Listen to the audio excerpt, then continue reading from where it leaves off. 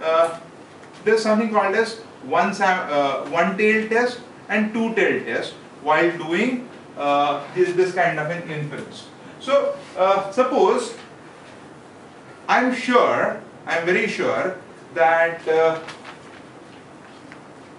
that for whatsoever reason that my alternative is has a direction.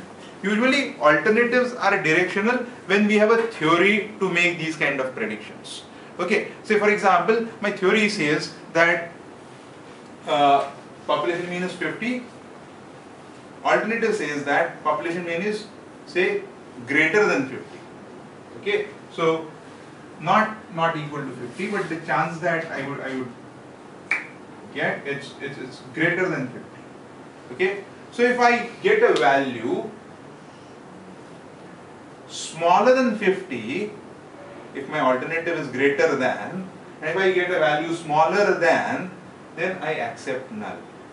Okay, which means that what I am trying to do, I am trying to look at the area beyond the mean.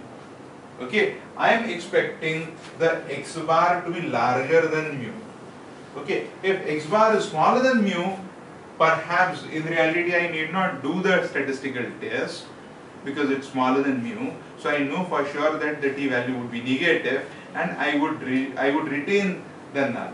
If x bar is larger than mu, then and then only I would do a t test and perhaps test whether uh, the uh, uh, it, it is significant or not. Now when I am looking at only one side of x bar, then I would do what I am looking for. I would reject this null, I would reject this null only if, only if the x bar has, uh, is higher than the mu. Okay, so I am looking at integrating this area. So what I, I, I wish to integrate, I wish to integrate uh, a area which is let me find out the value for it.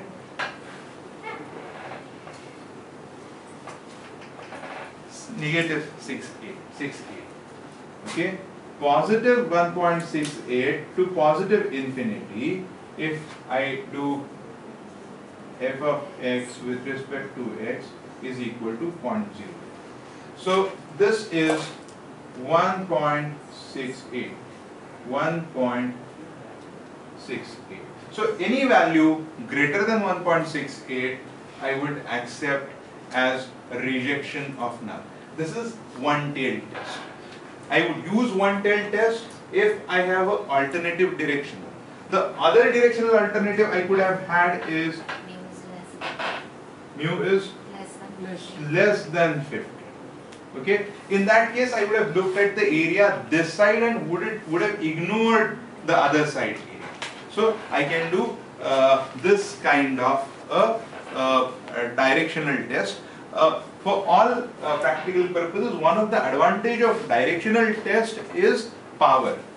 The chance that you would reject a null hypothesis is higher with a directional test than with a non-directional test. Okay. Uh, obviously, with non-directional test, the uh, uh, guard against type 1 error is higher because you're, you're using more stringent probabilities while using type uh, uh, non-directional test.